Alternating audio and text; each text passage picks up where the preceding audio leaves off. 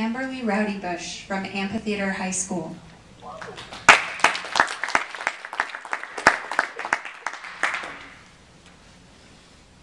Larkinesque by Michael Ryan. Reading in the paper, a summary of a five-year psychological study that shows those perceived as most beautiful are treated differently.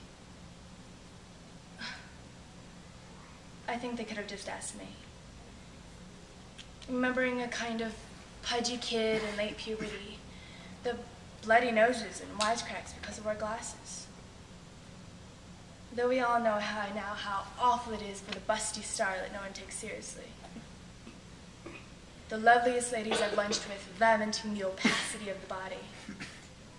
They can never trust a man's interest, even when he seems not just out for sex.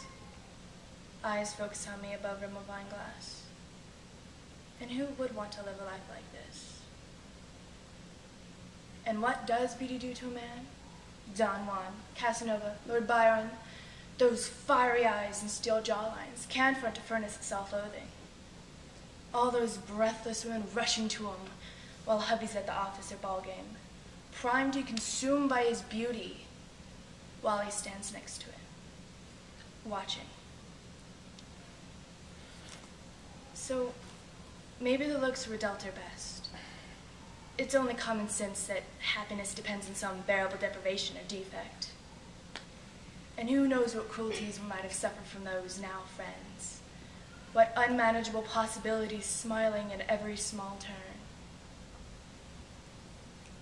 So, if I get up to draw a tumbler or ordinary tap water and think, what if this were nectar dripping from delicious burning fingers?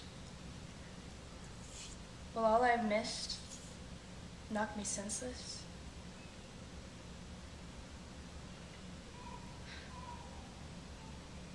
No.